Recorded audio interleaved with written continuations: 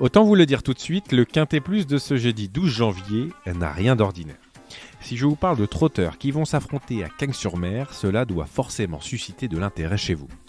Encore plus si l'épreuve en question n'est autre que l'édition 2023 du Prix de la Côte d'Azur, avec en prime cette année 16 concurrents répartis sur 3 échelons de départ pour succéder à Esprit Mystique, intouchable l'an passé.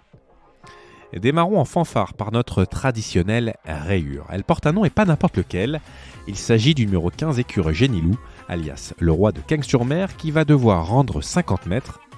Malgré tout son talent, il aura du mal à briller face à une telle opposition. Pour la victoire, parlons du cheval de classe du lot, le numéro 10, Go On Boy.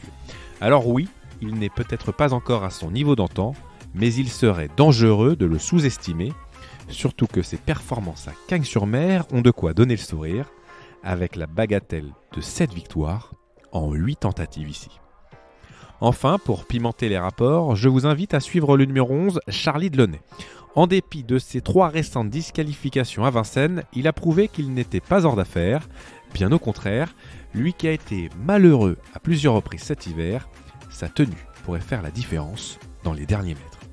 Alors pour décrocher le magot, tentons un champ total en flexi 50% avec 4 bases pour un montant de 12 euros en s'appuyant sur les numéros 10, 6, As et 11.